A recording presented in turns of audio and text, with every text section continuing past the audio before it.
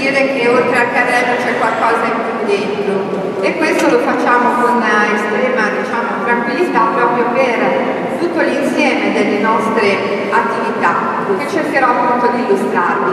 Intanto proprio è una cooperativa di consumatori, in Liguria abbiamo 515.000 soci.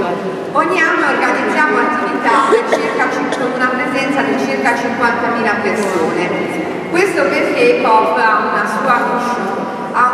statuto sociale. COP realizza le intenzioni etiche dei soci perché per noi il socio è qualcosa di più del consumatore, un di più che è rappresentato proprio da un fatto mutualistico che lo lega alla cooperativa.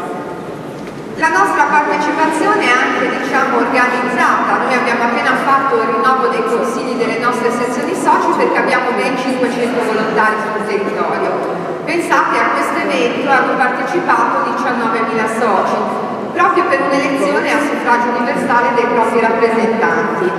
Devo dire che anche qua la percentuale delle donne che sono risultate elette, diversamente da quello che invece succede nelle altre competizioni elettorali, è molto elevata. Noi abbiamo oltre il 63% di presenze femminili all'interno della nostra organizzazione.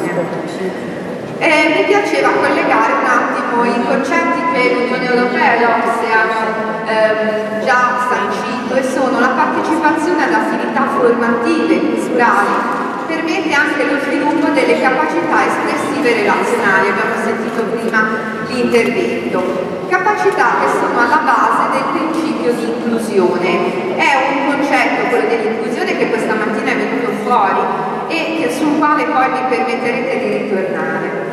Poi l'altro concetto molto importante credo sia quello del sapere, il conoscere a tutte le età.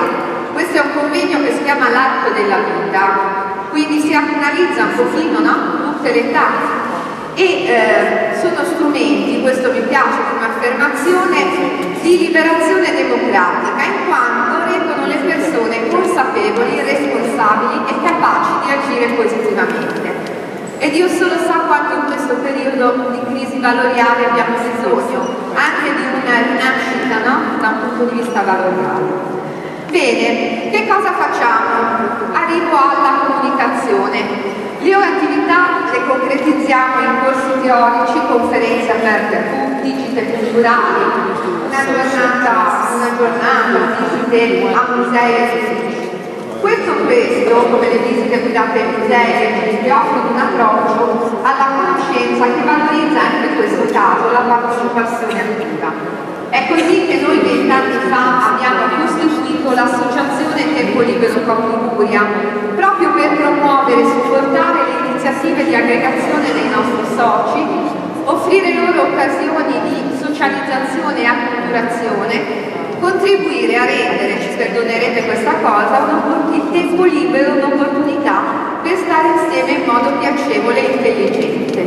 Infatti, che cosa è successo? Noi abbiamo questi dati, che stiamo presentando alle nostre assemblee di bilancio, dove questa parte sociale è molto comunicata proprio per i motivi che vi dicevo all'inizio dell'intervento.